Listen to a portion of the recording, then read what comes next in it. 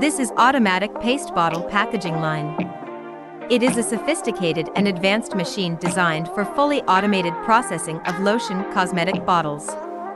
It combines the functions of paste filling, capping, and labeling, utilizing a servo motor and piston pump for precise and efficient operation. With its rotary body design, the machine is capable of handling various types of cosmetic bottles efficiently, ensuring consistent and reliable performance throughout the production line.